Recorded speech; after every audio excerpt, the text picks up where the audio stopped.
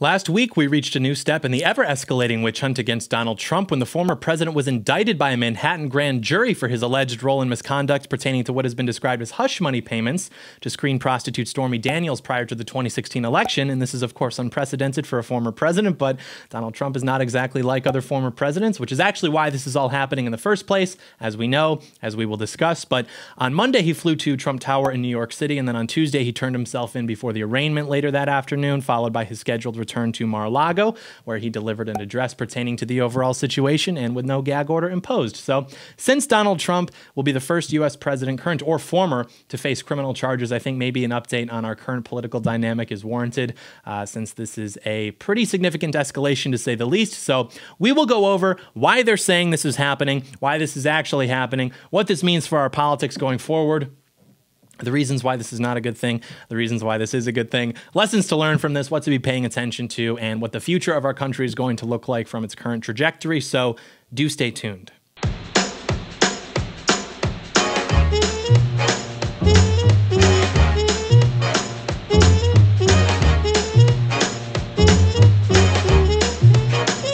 John Doyle in. Hello there, ladies and gentlemen. Welcome to Heck Off Commie. It feels good to have the hat back on. The hat's back on, it's staying on. I'm back on Twitter. I'm back behind the desk again. It seems like the energy's shifting. Things are moving back to equilibrium. Order's being restored, nature's healing, but yeah, we're not going to get too deep into the how and why this is happening. I did a whole video back in November, months ago, longest video I've ever done. No topic more deserving, of course, covering why this is happening, who's behind it, everything surrounding it, etc. So I'll put a link to that video in the description if you want to watch what is like literally the definitive analysis of Donald Trump, like what makes him so different and so effective, how he permanently altered American politics, and in particular conservative politics, why these people never stop going after him.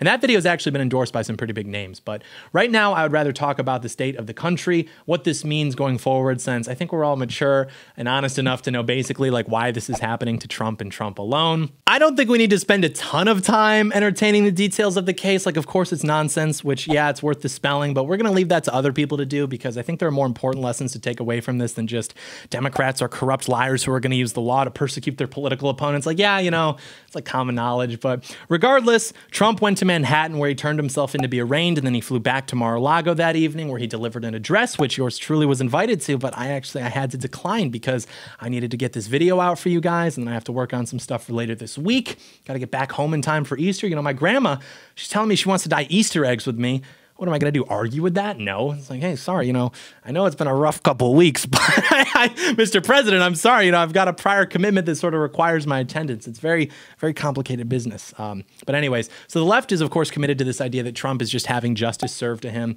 This is totally fair, totally impartial. And obviously, we know that that's not true, judging from the countless examples of people on their side committing like far more severe crimes than what they're implying Trump is alleged to have done, and at a far higher frequency and in far more conspicuous a manner. So, just like know that as we move forward. Just know that when these people say like, well, nobody's above the law, like they don't mean that in any sense that's more legitimate or respectable than like a schoolyard tattletale, which by the way, isn't even to say that Trump did anything wrong, but these people hate Trump and therefore any crusade against Trump is legitimate and just, just like the impeachments, just like the Russia hoax, everything else in the last eight years, like it's all equally righteous and just and rooted in accountability. And that actually tends to be a more accurate understanding of power than we have on our side because we had people on our side saying things like, you know, DeSantis, he should refuse to extradite Trump and make Florida a sanctuary state for him. And then you had like big accounts saying things like, um, actually, DeSantis doesn't have the power to do that under Article 4, Section 2 of the Constitution. And I read that, I'm like, thank God. Like, thank God somebody said it, right? Now, like the beacons, because the Constitution's back. Just wait until the left hears about this. It's going to be like every episode of Fairly Odd Parents, you know, at the end where he's like, I wish everything would go back to normal. That's our country when Democrats find out that they're supposed to obey the Constitution. So we have this interesting dynamic where leadership in one party is actively maneuvering to jail the most popular figure in the other party, who happens to be a former president openly intent on taking back the White House next election. And when people in this party realize this threat and start brainstorming ideas of how to fight back against it, the supposed thought leaders in this party are like, um, actually, the Constitution says you can't do this. So you can. It's like, okay, we've heard this a million times, still waiting on it to pay out for us. Okay, well, what's the alternative then? Like, what are these people proposing we do instead? They're saying another thing we've heard a million times with very little payout that the pendulum is just going to swing back. Hey, relax. The Democrats, they're doing this. Let them.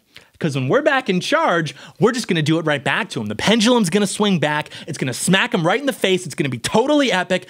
Is this even possible to believe? Like, when has that ever happened with significant consequences? People want this to be true so badly on our side. It's like this deeply embedded cope.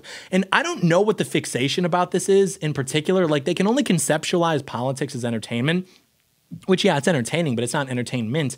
And so they like get off to this idea. They get this idea in their head of like a character setting themselves up for retribution for like dying by their own hand. It's like they think they're watching a wwe match and it's like a tables match right? You've got this wrestler. He's setting up a table to put the other guy through. He's on the turnbuckle. He's gonna dive on him. But wait he gets distracted taunting the, the other guy's girlfriend and now the wrestler catches him on the turnbuckle. What's he doing? Superplex! Superplex through the table that the other guy set up. He superplex him through his own table. Jim Ross has a heart attack, collapses at ringside. Ring the bell. That's like what this whole pendulum thing is. Like, first of all, it presupposes two things that aren't even true. Firstly, that the Democrats and or the establishment ever intend on us having serious power again. Like, it's obviously not the case, evidenced in particular by the fact that they're doing this to literally prevent Donald Trump from entering the White House again. So it can't exactly be a pendulum if what the other side is doing is actively preventing your chances of ever getting near the levers of power again. It's really like more of a ratchet than a pendulum. And secondly, even when we get into power, our leadership has no balls. Like anybody who does have balls is either prevented from obtaining power or they're harassed with impediments which largely prevent them from being effective. Like, what are we actually supposed to believe? Are we supposed to believe that the GOP leadership is going to indict Joe Biden or Hillary Clinton or Barack Obama, any one of these people, Anthony Fauci. Like, I don't think anybody actually believes that that's going to happen. But that's what the people trying to contain us in this pre Trump paradigm of what passes for right wing politics in this country, that's what they're trying to tell us. Like, just relax. It's going to come back to bite them. Like, yes, but not because of you, because me and my cool friends are actually going to see to it. But the Constitution isn't coming to save you. If it were, we wouldn't be here right now. Like, there's no such thing as a nation of laws. The people who pull the strings are always going to make exceptions for themselves for their ends. Like they're always going to persecute their enemies, uh, their ambitions. Like the people who are in charge of enforcing laws. That's what matters. Like the Constitution by itself, how it's designed to provide a framework for our laws, that's not going to save you. It's like the cardinal rule of government. Only the person in charge matters. If some bureaucrat doesn't want something to happen, he's going to like discover some portion of the law that, you know, oh, my hands are tied, there's nothing I can do. But if he does want something to happen, he's just going to like interpret the law in such a way as to allow that thing to happen. You know, sometimes this takes a few cycles of rinsing and repeating. It's like how we went from an implied right to privacy to you have a God given right to kill your child at any point during pregnancy and for any reason. But the effect remains the same. And yeah, if you go to the courts, you're just simply changing the person in charge from a bureaucrat to a judge, and you're hoping that the judge is on your side, which probably means the side of the law, which is what is supposed to make judges unique when compared to other government officials. But in practice, what we see is largely the same just more power actors making decisions based on what they want. This is just the way that things work. And the sooner we figure that out, the sooner we can catch up. And by the way, this is what George Soros figured out a long time ago, which is why he pays to install district attorneys like Alvin Bragg. Well, it's just following the law, right? They just prosecute, right? Well, no. No, it turns out that you can't just eliminate the reality of political power by like trying to democratize it into this algorithm. And in fact, that actually makes it worse because now it's pretty much impossible to have accountability. The courts, the bureaucracy, like what is the average person supposed to do to combat the damage that has been done to this country by actors wearing the labels of those institutions? I'm not saying our form of government is necessarily bad, by the way. I'm not saying the Constitution needs to just be totally abandoned. I'm just saying what I've said for years. It's not enough. You can't just refuse to play ball. The left plays ball. The left plays for keeps. So they win. They understand how politics works. And one thing they understand very well is that in politics, you can literally do whatever you want. You figure out what you need to get done. You come up with the policies that achieve this either directly or by proxy. Come up with your PR strategy to quell the emotions of the masses. Come up with your legal strategy to get it through the courts. And then you just do it. Like you can only not do it if you're prevented from doing it. That's actually how you win. Like this is how you play for keeps and deliver for the people who elected you to make their country and their lives better. Well, we shouldn't do that. What do you what do you mean we should? Like this is how it works. This is why Donald Trump was indicted. Actually, one second please. Since we're essentially discussing how the only relevant political virtue is loyalty, and I am loyal to iTarget, I think it's time to spread the truth. Father's Day is right around the corner. Oh, but I already have a laser bullet. Okay, we'll consider the following. Have you ever seen competitive shooters practice timing drills on the range. This is incredibly important for proficient marksmanship. And given the way certain groups of very normal and well adjusted people are getting riled up, you may need to defend yourself against multiple attackers sooner than you may think. Now, imagine being able to do that at home anytime you want, never spending a dime on ammo. That's what the all new iTarget Cube does. The iTarget Cube is fully compatible with your existing laser bullets. You just buy one, upgrade to the three pack for a unique training experience. The world is your oyster. Compete with friends, practice clearing drills, or use random mode to test your ability to react, all while the system times every shot you take. Right now, save 10% plus free shipping with the offer code Doyle when you go to itargetpro.com. iTarget comes in all calibers from 9mm to 223, so you can train with almost any firearm. This is the easiest, most cost effective way to train, and it pays for itself in a single day. That's the letter itargetpro.com. itargetpro.com, offer code Doyle. Very epic. We continue. But yeah, it's like we said, you know, there's always reasons for these things being done, and usually they're indirect. Like, for example, look at the Manhattan DA, Alvin Bragg. Now, Alvin Bragg is probably genuinely just a low IQ diversity hire who believes that the reason differences in crime rates exist is something to the effect of $20,000 per student per year in funding instead of $25,000 per student per year in funding. That's fine. He can be the useful idiot. But the people who install these people into these positions, people like George Soros, they understand that it's beneficial to the people who pull the strings in this country to have violent criminals walking around basically terrorizing citizens with impunity. Because when you have fear, when you have low trust, when you raise the consequences of accurately describing the problems that we face, when you remove people's ability to be proud of their cities, be proud of their communities because you've turned them into shitholes, it makes it very difficult to reverse course. And the regime benefits from instability like this. That's why they don't go after criminals. You know, people are like, well, why could they be doing this? Like, what do you, what do you mean why? You know exactly why. If you explain this to an alien who is visiting Earth for the first time or to like an AI or something, asked it to infer a motive, it would tell you what you already know. People are like, oh, well, never attribute to malice what can be explained by stupidity. What does that even mean? Like, what do you think you're saying to me right now? Sometimes I hear people speak I genuinely believe that they're just trying to like prove that they can speak English to me. Like their words have no meaning or purpose beyond that. You know, people will just say little phrases like that as if they're just true. Like, like okay, explain to me why we should never do that. Also, the complete quote contains a very important word which I never hear comprehended by these people. Adequately. It's never ascribed to malice that which is adequately explained by incompetence. And guess what? The explanation from the standpoint of incompetence is inadequate. Like, we're not talking about a child spilling milk and it's like the child is evil. No, he's just incompetent, okay? It's a child or something like that. We're talking about the most basic amenities of civilization. Criminals need to be dealt with.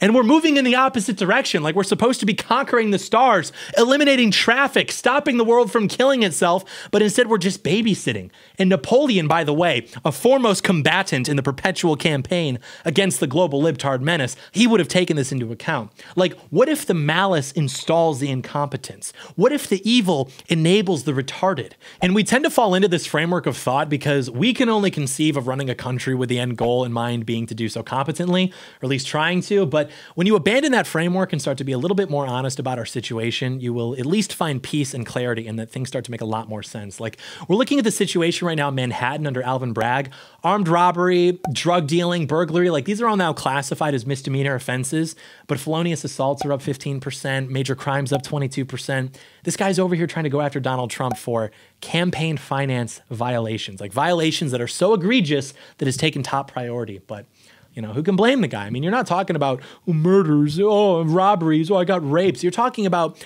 campaign finance violate. Like this is not the minor leagues anymore. You're talking about campaign finance and you're talking about violations. Like I didn't even know that people did that. That had to be explained to me. And still, I could not wrap my mind around something so demented. I even heard from one of my contacts that when Alvin Bragg's office first got wind of these campaign finance improprieties, they were so disturbed by the nature of them that by nine o'clock the following morning, two of the senior prosecutors had resigned, and one of the clerks who had actually first handled the documents, they committed suicide. Like, that's some pretty messed up campaign finance violation. I mean, even potentially accusing him of falsifying a legal document. Like, at what point are you not an animal when you're doing like any man can kill, any man can steal. You just push him to that point, introduce the requisite socioeconomic factors. But supposedly violate campaign protocol seven years ago. Like at that point, how are you in practical terms different from Adolf Hitler?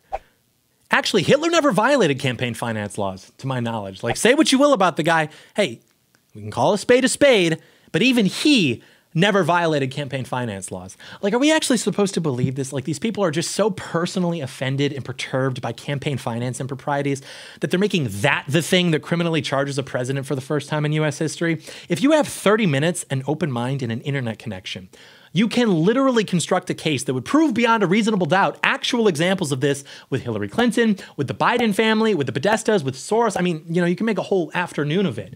But that's not what this is about. And we know this, but it's still worth pointing out because the problem isn't exactly government overreach or political persecution. It's that they're doing it to Donald Trump specifically because he represents essentially the will of the American people. And if we had competent right wing leadership that sent federal agents to raid properties owned by the Obamas, by the Clintons, by the Podestas, by Soros, Gates, et cetera, et cetera, you're not going to hear me complaining about political persecution and government overreach because these are things that actually need to be done because these people have actually committed crimes and transgressions against the American people. But nobody hears about that. And nobody hears about the minor ones either. You know, Barack Obama, he violates federal disclosure laws, no He pays a fine, media doesn't cover it, average person probably doesn't even hear about it. Hillary Clinton, she pays for the fake Steele dossier, which causes years of dishonest media coverage against Trump, disrupts basically the entirety of his first term in office, with, of course, the appointment of a special prosecutor. Turns out it's all illegal nonsense. No worries, no indictment. They pay a fine. Media doesn't cover it. Average person probably doesn't even hear about it. But with Trump, they literally have helicopters following his every move like he's OJ fleeing in the Bronco. It's insane. It is absurd. Like we've never seen anything like this before. And here's why that's not necessarily good, by the way. It's by no means a fatal blow, but it's not all good news because, in terms of how this is going to affect the average person, there are basically two interpretations. The first interpretation of it is well, where there's smoke, there's usually fire. Probably wouldn't have gone after him if they didn't have a case, et cetera, et cetera. And their perception of Trump ends up being worse than what it was. How much worse? What it was already, that's case by case. But on the net, it's not beneficial. The other interpretation of it is, well, these people have never given this guy a break. I mean, now they're trying to put him in jail. You know what? Maybe he was actually trying to do the right thing, et cetera, et cetera. And their perception of him on the net becomes more positive. Both of these are very possible. But I think you're going to see a lot more of the former than the latter. You're going to see more average people, people who don't really follow politics that closely, people who don't really follow the news that closely. You're going to see their perception of Trump become more negative on the net because to really take the second position, you have to be following politics closely enough to know that they kept going after this guy and that it amounted to nothing. That's the key component. People who aren't following as closely they're just going to remember that, you know, every time they turned on the news or they were in the gym, whatever, it always seemed like Trump was wrapped up in some scandal, which will just make them more likely to think that, well, they finally got him, right? Hey, they were right to finally indict him. The other thing is you have to be following closely enough to even know what Trump was running on and what his whole agenda in office was about. And the average person probably doesn't know that. I mean, maybe they know about the wall, but that's about it. So the left knows that this is going to poison the well a little bit more with Trump, and they're hoping that they can count on the cowardice of the GOP to continue moving away from Trump like they've been trying to do for a while now, since people might think that he's too toxic or too problematic now or something. And that's another thing that we really went into in the Trump dissertation the fact that pretty much all of the baggage that Trump has only exists in the minds of the public because of the incessant media freakouts over things that were ultimately not that bad. But that because of that nonstop coverage, they were able to somewhat effectively actually crystallize the public perception of Trump as this like corrupt incompetent. So that's why it's not all good news. It is going to turn some people off more so than already. But the good news is that it's unlikely anybody who's turned off by this was going to vote for Trump anyways. And it's also unlikely that this would push somebody who was Trump sympathetic over the edge against him. Like we said, anybody who is at least Trump sympathetic is far more likely to have this solidify their support for him. And that's why, in the long run, on the net, this is good for us. This was inevitable. You know, this is going to move the ball down the field for us. I've never been one of these people, by the way, who thinks that we're going to have this like mass awakening people are going to realize how bad things are and, and they're going to act accordingly and they're going to mobilize. That's just not the way that these things work. That's not the, really the way anything works. But there is something to be said about this, like waking up people who do have the capacity to get it, so to speak. There really is a sort of Gnosticism to this, actually. Moreover, this is going to solidify and energize the base. And already you've seen huge influxes of donations, huge crowds turning out to support the president. And we need that energy behind Trump to disarm the effort of the GOP establishment to try to move into this post Trump territory. And that's maybe even the greatest part of this whole thing. It's the perfect opportunity to find out where people really stand. It's the perfect litmus test. And we're not going to get a better one anytime soon. At this point, anybody who's not standing explicitly with Trump is aligned with the establishment. It's really that simple. So pay very, very close attention because, again, we're not going to get a more clear litmus test anytime soon. We have friends and we have enemies, and they are revealing themselves right now. Ron DeSantis, he's got a great opportunity right now. He could endorse Trump for president. He could stand beside him, and then 2028 would be his. Trump would campaign for him. He would be a national hero. I mean, this guy's young. He's in his 40s. Why not just wait another few years? Why try to co opt the torch from Trump prematurely? It's because he's got vipers whispering into his ear. Really interesting how the day that Trump's indictment is announced, Florida moves to rewrite the law, which currently says that the governor of Florida can't run for president during his term as governor. What a snake. Don't do this, man. It was so easy to do the right thing. And you still can, by the way. You can still be the guy. Just wait a little bit longer. You know you're not going to beat Trump. Like, don't kamikaze your political career. It's okay. Like, it's okay that you're not this larger than life figure destined for greatness like a Robert E. Lee or a Donald J. Trump. You can still rise to the occasion and do great things. You can be like a Stonewall Jackson. That's inappropriate, actually. I shouldn't use those comparisons. We know how you feel about that part of American history, Ron. You know, I was telling people to watch out for Ron DeSantis two years ago. Now people are seeing what we've known all along that the arc of history is long, but it bends towards total Doyle vindication. And people actually have this delusional take. They're like, well, they're trying to put Trump in prison and prevent him from running for president so that he actually gets the nomination because they're really scared of running against DeSantis. Okay, first of all, if that were the case, they would just fortify against DeSantis too. Like the reason they're worried about running against Trump is because Trump is actually popular, far more so than DeSantis, by the way. He's a far better politician and he has a far better vision for the future of this country, along with the ability to actually inspire loyalty and hope within people. Where DeSantis is basically John McCain or Mitt Romney with like an updated OS. Like look at the polling, look at the crowds, look at the two men they're scared to run against DeSantis. Bro, DeSantis is scared to run against DeSantis. That's why they're trying to rewrite the laws. If he were so confident, he would just step down from governor of Florida right now and start campaigning instead of doing what he's doing now, which is basically everything involved in campaigning except not calling it campaigning.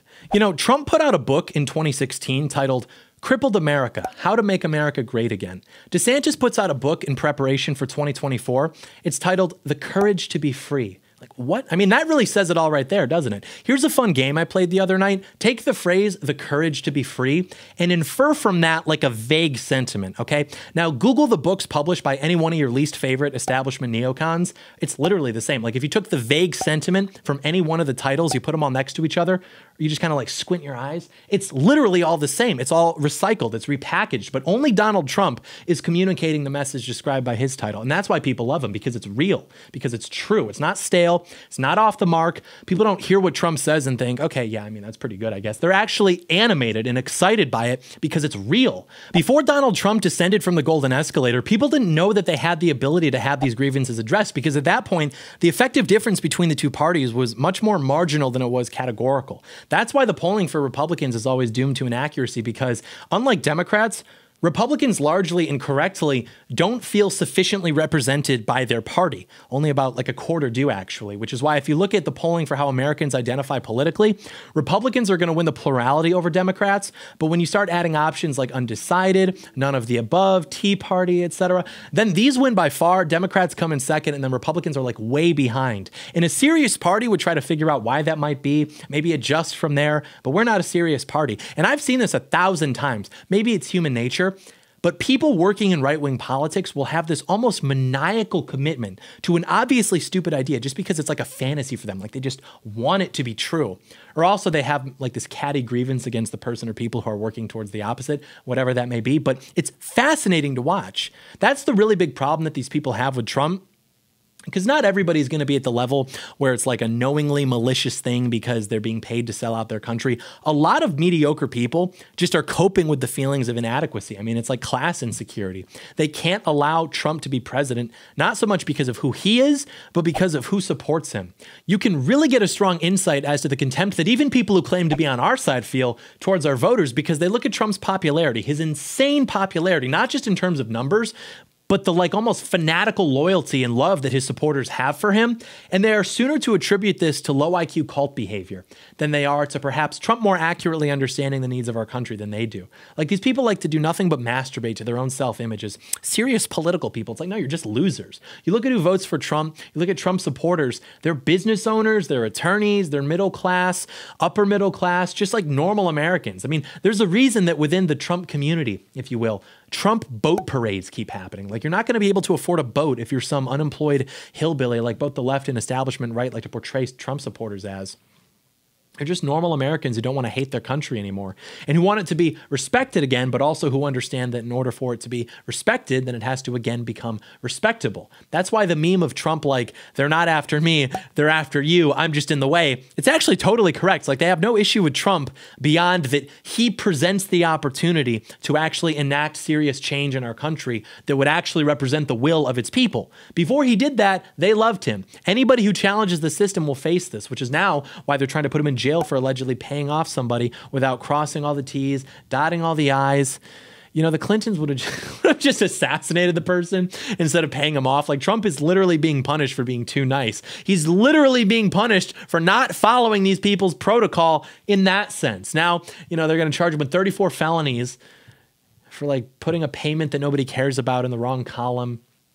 And each one's basically the same. It's like copy pasted, but with a different date each time. And obviously, they have no case. So it's either going to fail or it's going to stand because of a biased judge, and then it's going to fail after it's appealed. You know, I've heard that the Trump legal team is preparing to file motions to dismiss it based on the statute of limitations, the intent, uh, political motivations, among other prosecutorial overreaches. But even when this case gets tossed out, it's not over. Like they could have him declared ineligible to run under the insurrection clause of the 14th Amendment, which still would probably fail because I don't think they'd get the votes in the Senate. And even if they did, then the Supreme Court would have to ultimately uphold it, which I don't think is likely. But the point is that it's not about one of these things working. If it does, great. The big thing is about demoralizing Trump and wasting his time and wasting his resources and doing the same to us. It's about creating obstacles and distractions, just like it always has been.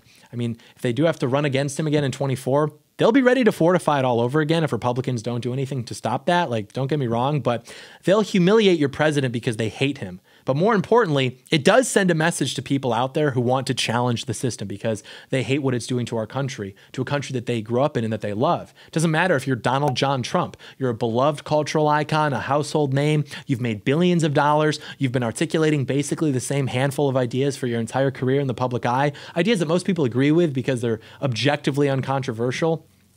People have been wanting you, begging you to run for office for decades. It doesn't matter. We will take that away from you. You can even have the support of tens of millions of American patriots. We will beat you down. We will use our media to take your reputation from you. We will use our systems of power to take your money from you, to go after your family. And even if you don't quit, there will be impediments to stop your agenda every step of the way, all in less than a decade. The image of Trump being arrested, that sends a message to people the people who he represents, and it says, give up. But maybe even more importantly, it sends a message to good people who want to take a stand for their country by challenging that power structure. And that message is, you will lose. And we just have to ignore that because so many times throughout history, particularly within the fight against communists, and I know it's kind of a meme at this point in certain circles to bring up things like the Russian Civil War, but there are so many cases where if people just held on a little bit longer, stayed focused, maintained the will to fight, they could have achieved the win conditions. They could have won, but they became demoralized, and ultimately that's what sealed their fate. And there's nothing more important than maintaining morale. Hope is a virtue, and I am eternally white pilled. You cannot be fazed by the humiliation rituals. They are designed to make you despondent. That's why we can't let the persecution of Trump demoralize us. We have to we have to let it make us indignant, right? We have to embrace it. We have to wear it like a medal. If they don't mugshot him, that's why. It's going to be because of that. Because Trump would throw that image on a T-shirt and raise twenty million dollars for his campaign practically overnight. Because the persecution of Donald Trump vindicates everything that we've suspected about the rot in our country. And honestly, thank God for Donald Trump. Like who else would have done this? Even if Trump fails, which he won't, a billionaire icon of American popular culture, supermodel wife by his side, that's truly the best last stand we could have asked for from an America that just doesn't exist anymore. Like men from that cloth are no longer produced. He literally took up politics as a hobby, destroyed several American political dynasties just by being funny, made Americans believe in greatness again, in themselves again. Like, even if this is just remembered as the dying embers of the fire, it's a great story and I'm proud of it. And I hope it doesn't get to that point, but I believe that these people will do anything, and I mean anything, to prevent Trump from being sworn in on January 20th, 2025. I mean, they've said as much. They've said under no circumstances can Trump be allowed to take office again. And I don't believe that they'll necessarily act on that. I don't believe that they can conjure the will to stop the man with the golden mane, but I believe that they believe that because I can't remember the last time their actions were less extreme than their rhetoric, unless it's simply a failure to execute, which is different from a reasoned choice to not do something. And even if he wins again, it won't stop. I mean, it will never stop. You are going up against one of the most sophisticated power conglomerates in the history of the world, and there's no escaping it. Like you can only face it. Even if you go to a red state, you go somewhere, you know, away from the cities, they're effectively dropping paratroopers into your territory through things like social media and it's going to make it blue within a decade or two. Like your kids, your neighbors, if they have an internet connection, if they're even remotely tuned in to the regularly scheduled programming, they're consuming the propaganda, they're either going to support the incoming change or they will step out of the way of it. You can't run away from it. They're just going to build up more power and then come after you later. Like that's why morale is everything. Pay very close attention right now to who is blackpilling. Pay very close attention to who's ready to throw in the towel. If you think it's bad now, you are not ready for what comes later. You know, I tweeted this out because I'm back on Twitter now. I said, once again, thanking God that our enemies are incompetent freaks who can barely hold eye contact while ordering a coffee. There's blood in you that fought off the British Empire. You will make it just fine against whatever this is.